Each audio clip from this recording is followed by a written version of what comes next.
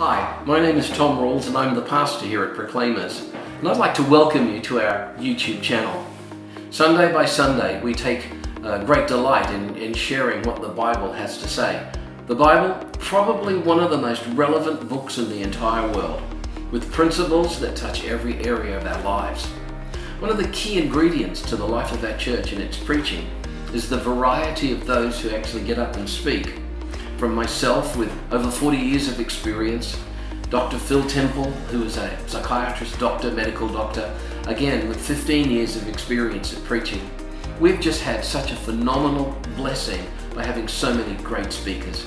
We hope you enjoy this particular YouTube video of our latest uh, ministry here at Proclaimers. So thank you again for joining us and God bless you. Do you know what? I am going to sneak along on Friday night. I'm going to come too. I'm going to pretend that I, have got an alumni card. I went to UEA. I'm going to be there. Because I've got to tell you, Mal Fletcher is a once in a generation, one of a kind voice. He really is. Uh, we don't get in just any old speaker. I, I, I know I should start my own message, but I just got to encourage you to come back.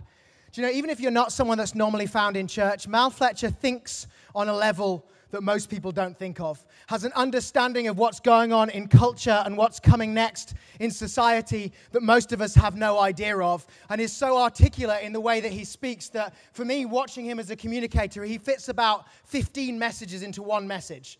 So I just want to encourage you. I was talking down in Ipswich this morning and I was saying, you know, that they need to be there to hear from him. I want to encourage you to come along and hear from Mal next Sunday morning, whether you normally join us in church or not. I know it's unusual if you don't to come two Sundays in a row, but I just wholeheartedly encourage you to be here from Mal. If you're a student, don't miss this.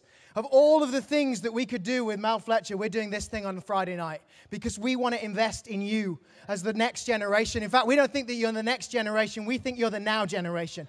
We think that if you're aged 18 to 20 something, you are perfectly placed to embrace and drive the future, not just of our city, but of our nation and around the world. And we want to do everything we can to invest in you. So I wholeheartedly encourage you to make sure you're there Friday night. It's in the Julian Study Center, 7:30. We're going to have a panel, Q&A, all sorts of great stuff as well. But be there. If you can get like anywhere near the age range, sneak in as well, but also be here on Sunday to hear from Mal. Is that all right?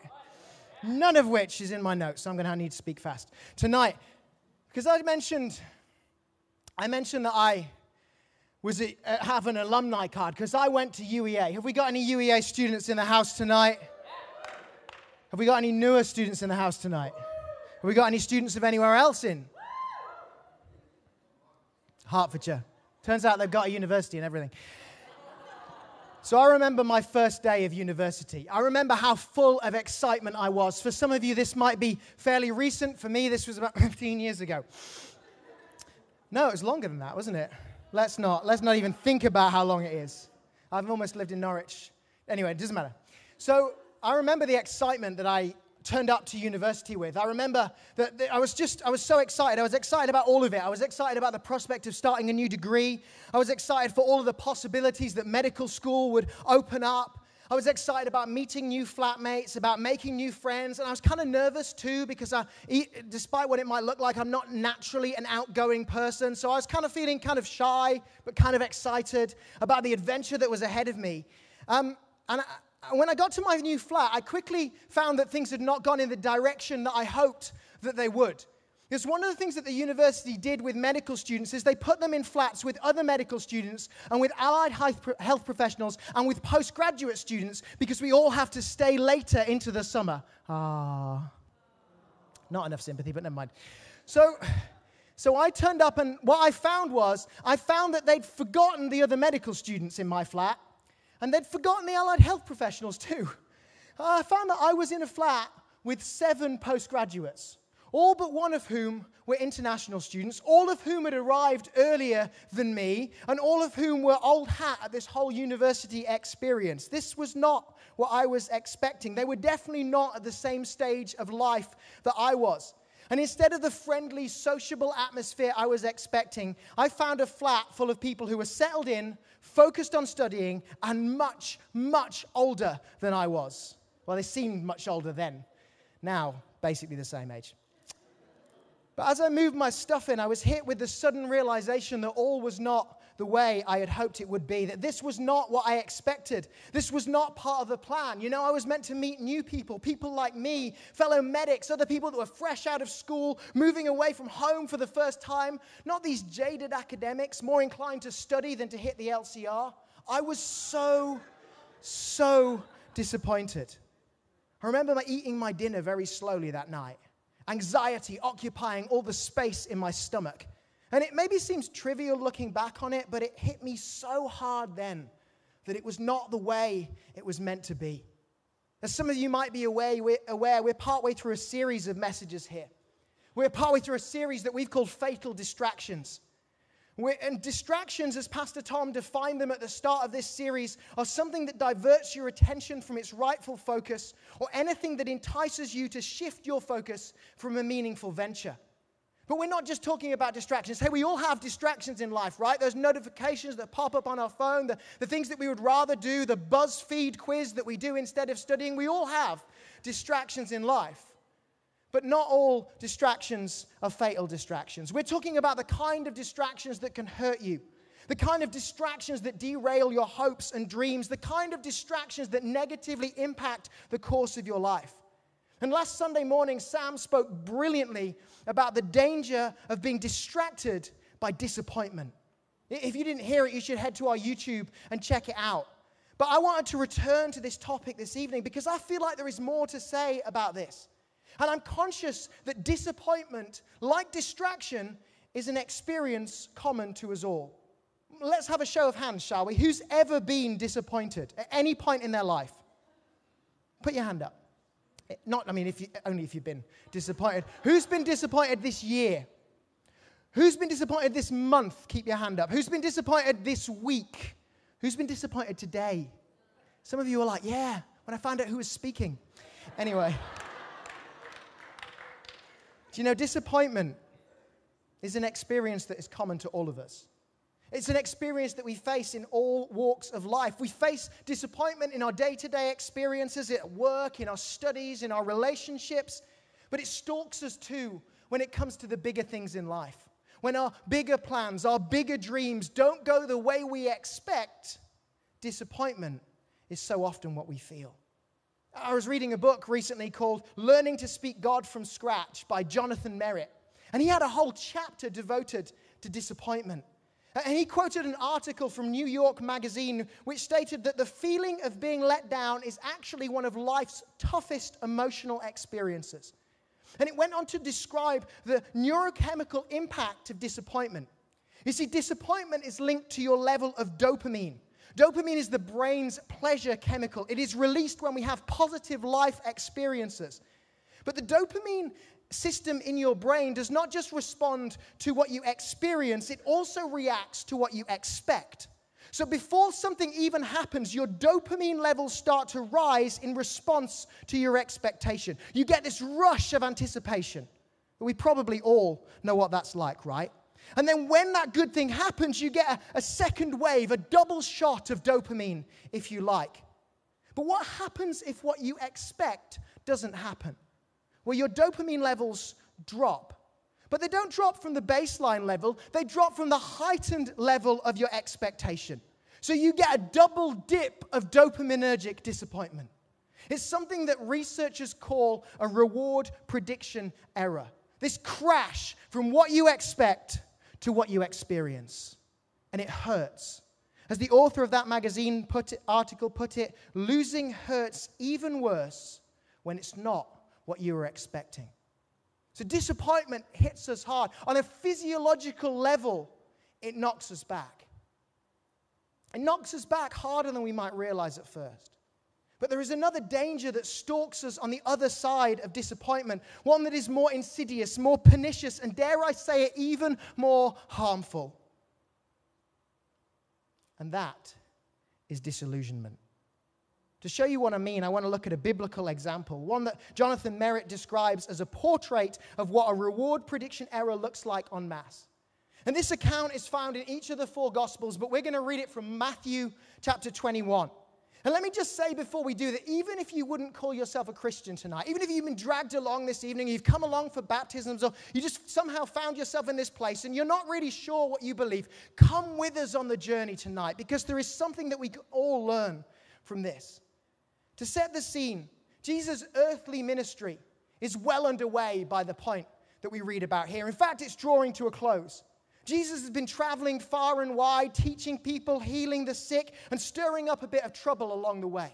The religious leaders have started to plot against Jesus. They want to have him put to death. And so, Jesus, his time on earth drawing to a close, heads for the center of the Jewish world, for Jerusalem. But how he gets into Jerusalem is kind of interesting. It says, as they approached Jerusalem, and came to Bethphage on the Mount of Olives, Jesus sent two disciples, saying to them, Go to the village ahead of you, and at once you will find a donkey tied there with a colt by her.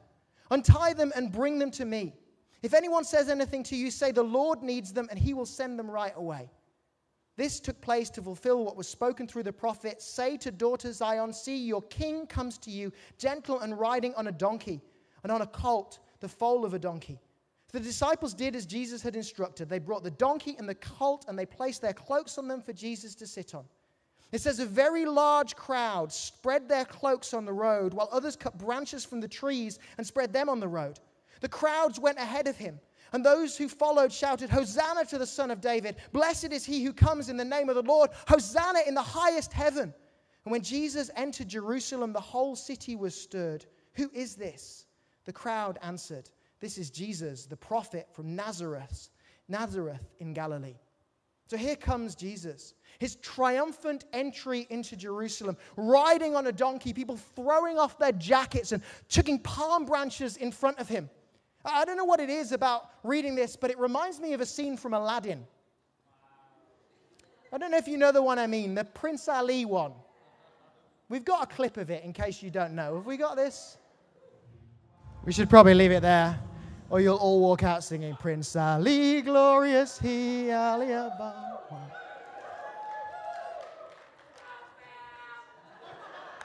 Can we just face facts? Like the animated version's better. Let's just have it out now. But anyway, Jesus comes, and I, I always wanted to show that clip because it gives you a sense of what's going on here. You know, Jesus might not have elephants, he might not have dancing girls, he might not have soldiers paving the way, he might not have Will Smith just about holding the tune in front of him.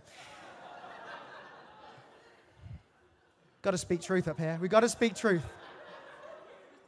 Yeah, Will Smith, in fairness, has had a slightly more re- successful recording career than I have. So, Will, if you're watching, apologies. I'm a big fan. Anyway, Jesus comes. And there is this same sense of commotion that we see in that video, that same sense of excitement, this same sense of anticipation.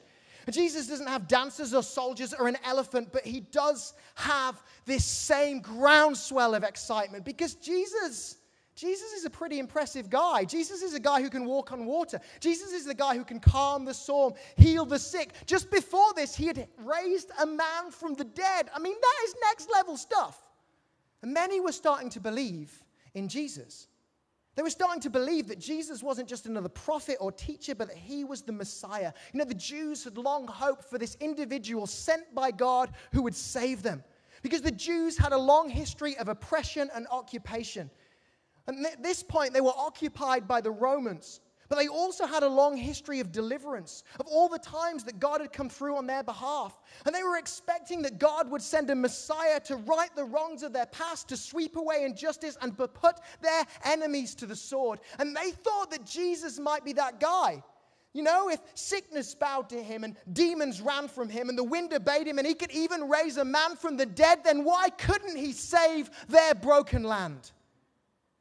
For Jews looking for a Savior, this passage is rich with symbolism.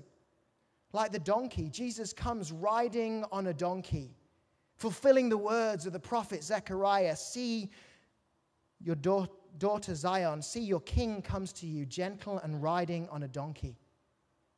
The palm branches, too, were rich with meaning. They hark back to another Judas, Jewish hero, Judas Maccabeus, a freedom fighter who had entered Jerusalem 200 years earlier.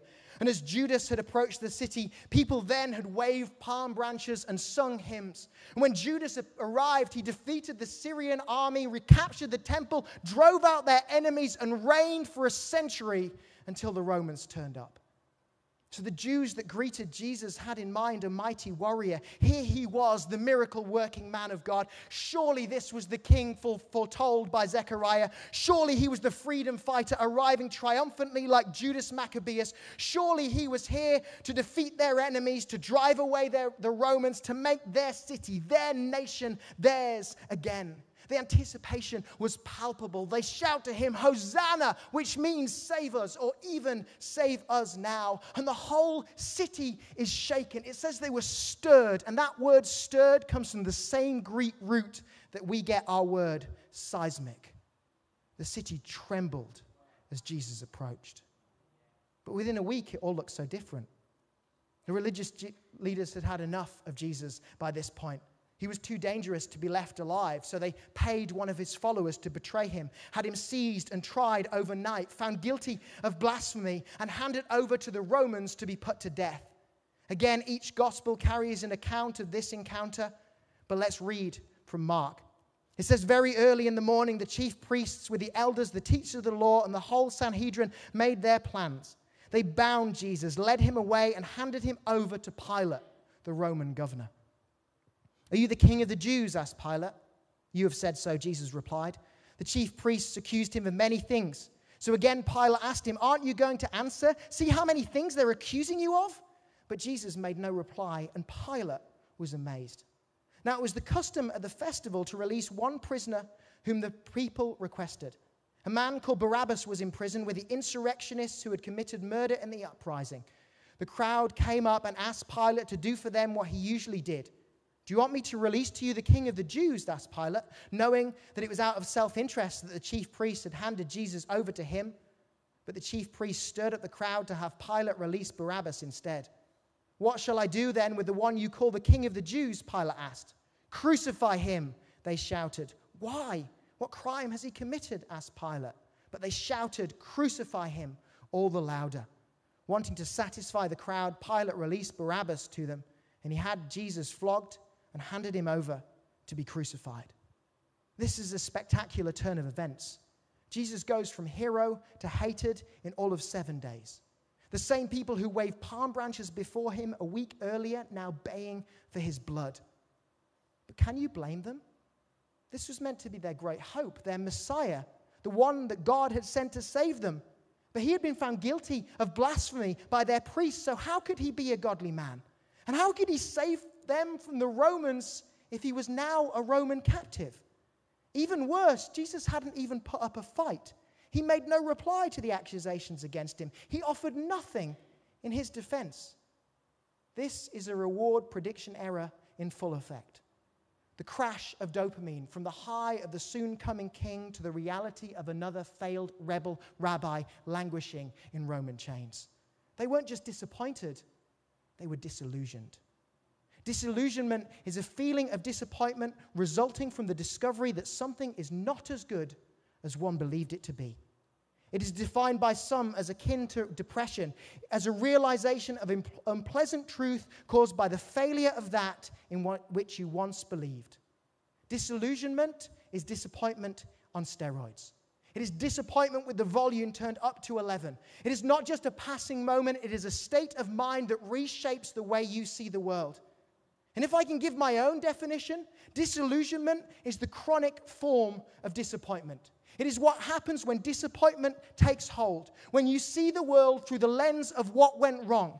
It is the place that you can only get to through failed expectation. When you believed that something would turn out a certain way, but it didn't. And when the dust settles, you're not just disappointed, you find that you no longer even believe.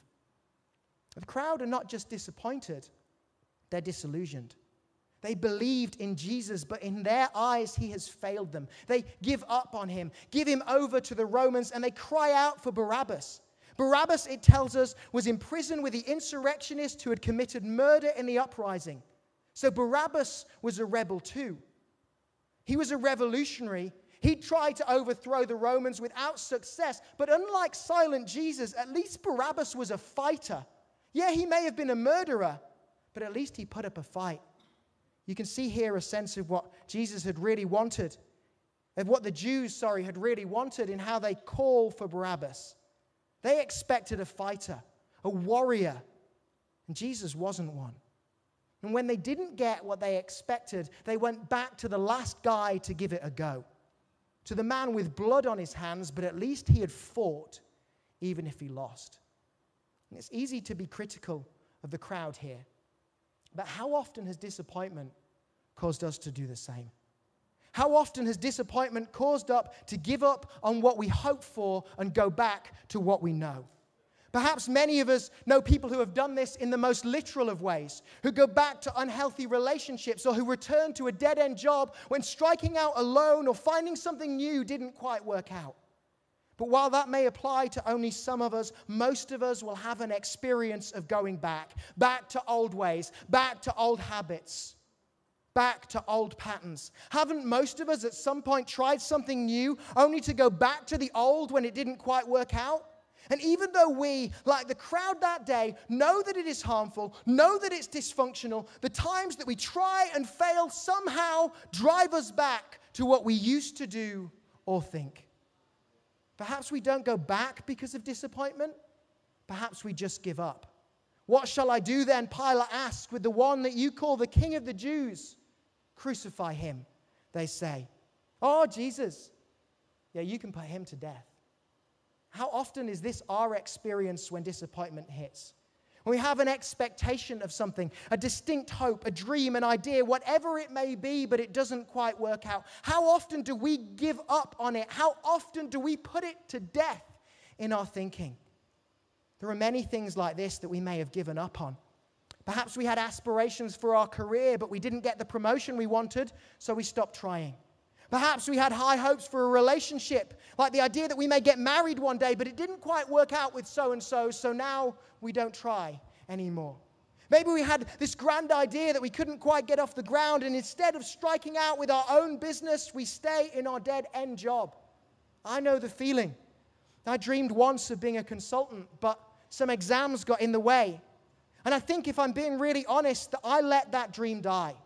Oh, that dream, that hope, that aspiration, yeah, I put that to death. Perhaps it isn't any of those things that you've given up on. Perhaps you've given up on God. For some, perhaps that's been entirely. You once believed in God, even wholeheartedly, but you experienced disappointment and you've entirely given up on Him. For others, it may be more subtle but no less damaging. You once believed that God would use you, believed that God had a plan for you, believed that you had a part to play, but something went wrong. Disappointment hits somehow, some way, and now you've given up. You no longer pursue him with the same passion. No longer believe that there's a place for you in his story. No longer believe that you can make a difference. Maybe I'm framing this the wrong way. Maybe you don't feel like you've given up on God. Maybe you feel like God has given up on you. I didn't think I'd get a chance to talk about this as part of this series. I thought I only had one message, but here I am again. What we have to talk about today, I think, is so, so crucial because we all face disappointment. And if we're not careful, it can so easily get embedded in our experience.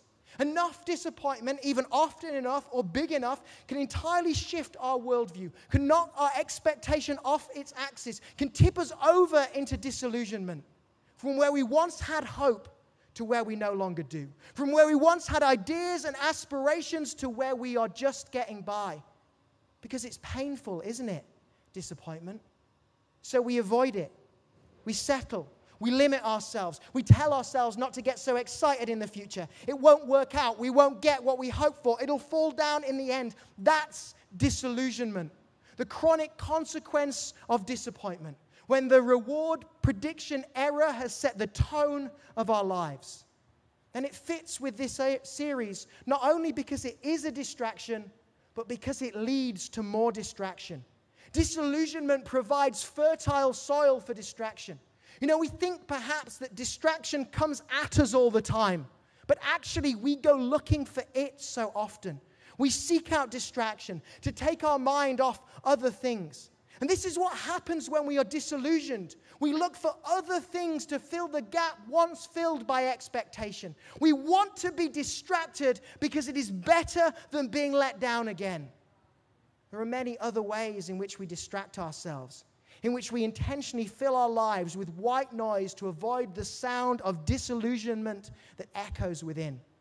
Even in a moment like this, there are some people on their phones scrolling through social media because it's better to watch somebody else's life than be offered expectation in the message again.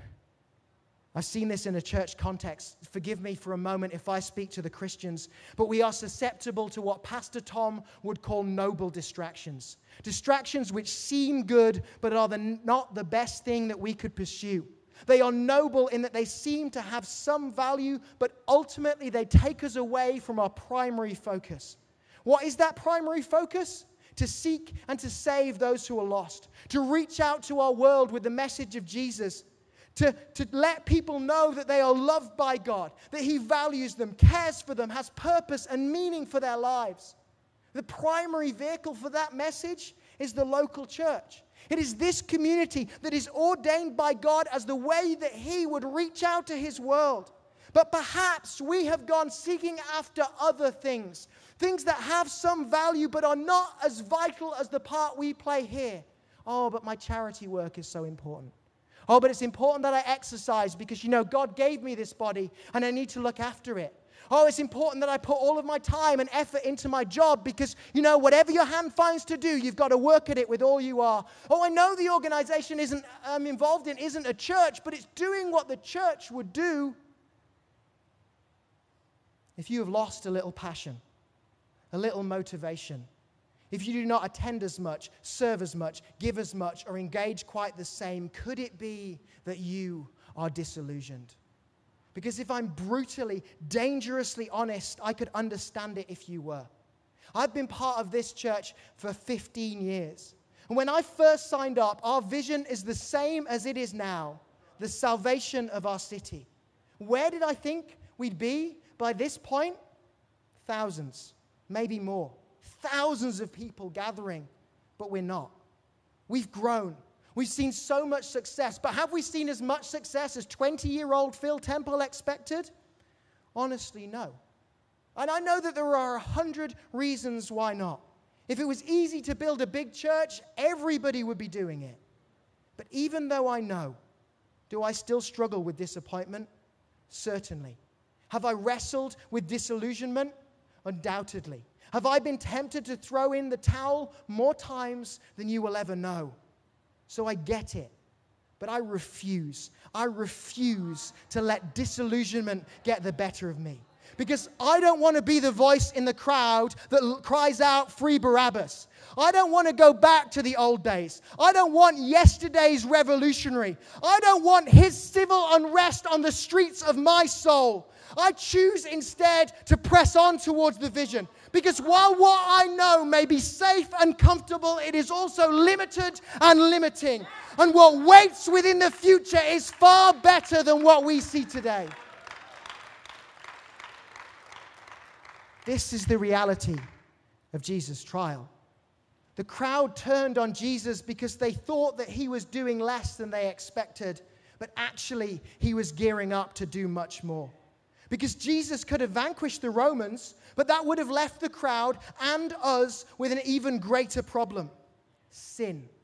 He would have left us to face our ultimate enemy, death, all on our own. Because each of us has fallen short of God's standard. Each of us has stumbled or slipped or missed the mark along the way. And our missteps and mistakes, the stuff the Bible calls sin, should separate us from God. Yet Jesus was prepared to give his life so that all of our mess, All of our junk should be cleared away. Jesus faces down a greater foe for a greater good. He does not fight or argue because he intends to give his life in our place so that we can be restored to right relationship with God. The people in the crowd that day missed it, in part because they had such a limited understanding of what God was going to do. Their image of the Messiah was much better served by a fighter like Barabbas than by Jesus. And for disillusionment, we need an illusion. We need a false idea of what God is going to do. As the band comes, it strikes me that the mistake that they made was they had an idea of how God was work, would work, but they forgot about who He was. That verse that, that is found in Zechariah that talks of the, the king that would ride into Jerusalem. The next verse says, I will take away the chariots from Ephraim and war horses from Jerusalem, and the battle bow will be broken. He will proclaim peace to the nations. His rule will extend from sea to sea and from the river to the ends of the earth. But Jesus was not a freedom fighter, he was a peacemaker. He came to bring peace not in a political sense, one that is won by war, but a peace in men's hearts when they are made right with God.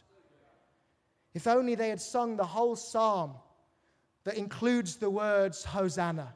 If only they had started and ended, because that is Psalm 118. And Psalm 118 begins and ends with Give thanks to the Lord, for he is good. His love endures forever. And in the middle of that psalm, it is all about the challenges that they face and the challenges that they will overcome. But it doesn't start and end with what God does, it starts with who He is. That He is good and His love endures forever.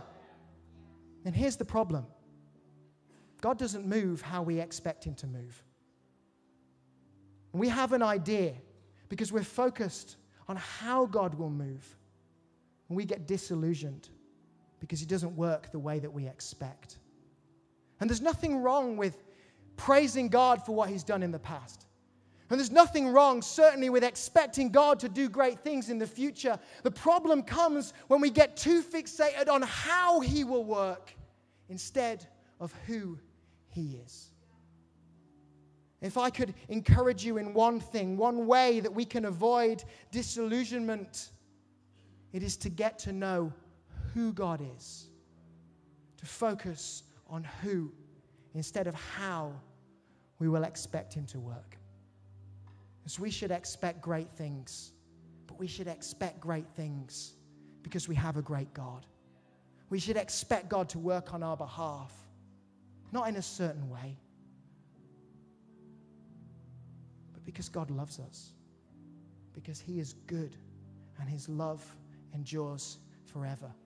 If you've ever faced disappointment, if you've ever faced disillusionment, can I encourage you to go back who God is, to Jesus who loves you, who values you, who welcomes you with open arms. I encourage you to go back to the Bible. If only they had known a few more verses from their ancient text, they would have known what kind of Messiah they were expecting. That's what's so powerful about these opportunities that we have to gather together. Because when we lift our voices in song, we remind ourselves of who God is that He's the same in the valleys as on the mountains, and that He is with us all the same.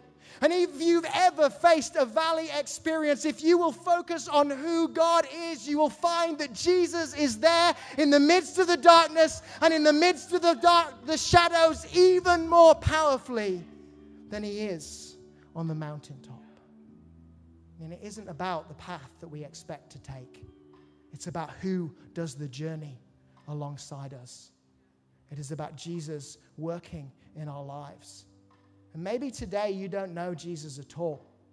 Maybe you once knew him and have disconnected from him.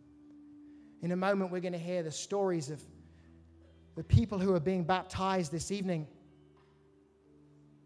I'm going to hear the difference that God has made in their lives. And after we have heard those stories, we will give you an opportunity to connect with Jesus for yourself. And I won't talk a lot about that moment, but I will say this nothing that you have ever done, nor will ever do, needs separate you from God because of who Jesus is and what he has already done. As I finish, disillusionment is a heavy burden and a costly course. It weighs us down, but it leads nowhere. We find no enduring meaning, no relief, no life, no energy. And imagine if we could cast off the weight of disappointment, be freed from disillusionment, to hope and dream and believe again. Imagine, too, what our example might do in our city. If our friends, our family, our colleagues, do you know, they're so often caught up in the same cycle of disappointment and disillusionment. They've looked for many ways to find meaning, many ways to find value, to find love, to find purpose.